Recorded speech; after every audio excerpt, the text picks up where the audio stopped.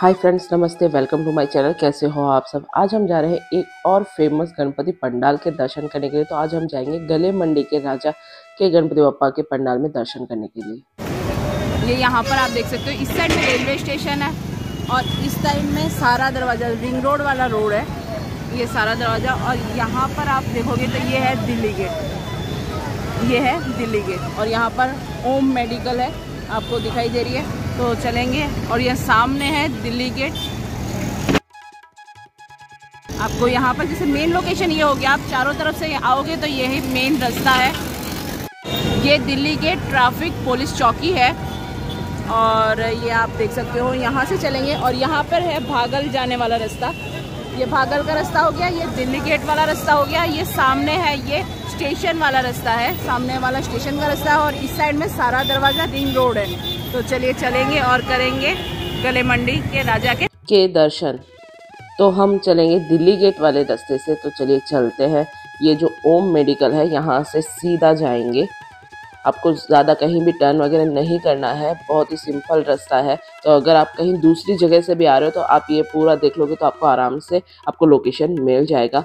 यहाँ पर ये देख सकते हो राजा डेरी। तो राजा डेरी आएगी, उसके बाद में चार रास्ता आएगा।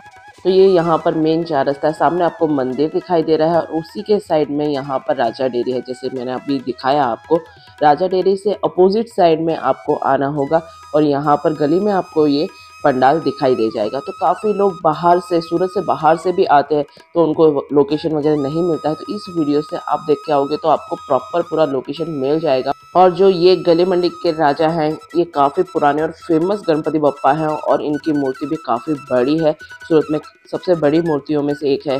35 फीट की ये गणपति बप्पा की मूर्ति है इनकी। और इनको इस बार 61 इयर्स हो गए हैं गणपति बप्पा की स्थापना करते हुए। तो चलिए चलते हैं, करते हैं बप्पा के दर्शन। और बहुत ही बड़ी साइज़ की, जैसे आप देख ही रहे हो, पंडाल कितना बड़ा है। तो 35 फीट की ये गणपति बप्पा की मूर्ति है।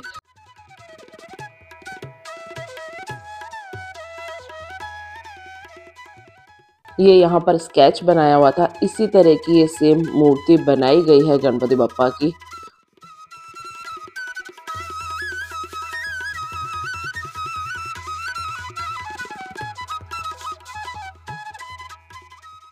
तो यहाँ पर आप देख सकते हो, कृष्ण भगवान के रूप में आपको गणपति बापा के दर्शन करने को यहाँ पर मिल जाएँगे। और मूर्ति आप देख ही रहे हो, कितनी बड़ी साइज़ की गणपति बापा की ये मूर्ति है और बहुत ही खूबसूरत बापा की मूर्ति है ये।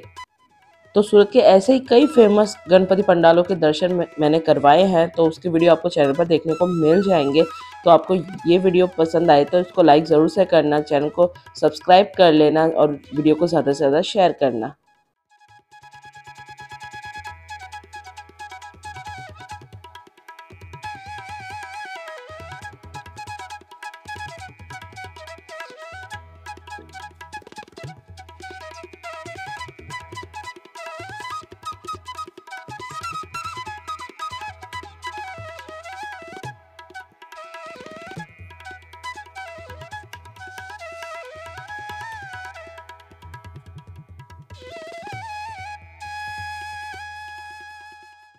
यहाँ पर ये देख सकते हो आप, इस थीम पर गणपति बप्पा की मूर्ति बनाई गई है। कृष्ण भगवान ने महाभारत के युद्ध में जो रथ का पहिया उठाया था तो उसी रूप में ये बप्पा की मूर्ति बनाई गई है। यहाँ पर ये रथ का पहिया बप्पा के हाथ में है।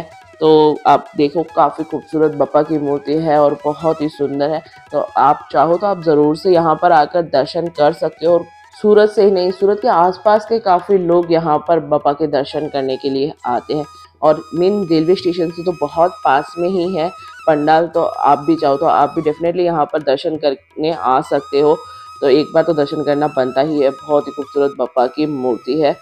तो यहाँ पर ये पूरा रात का नज़ारा है। रात को तो काफ़ी भीड़ होती है बप्पा के दर्शन करने के लिए यहाँ पर। तो आपको ये दर्शन करके कैसा लगा ज़रूर बताइएगा। वीडियो पसंद आए तो लाइक शेयर सब्सक्राइब ज़रूर से कर लेना। चैनल को चले मिलते हैं नेक्स्ट वीडियो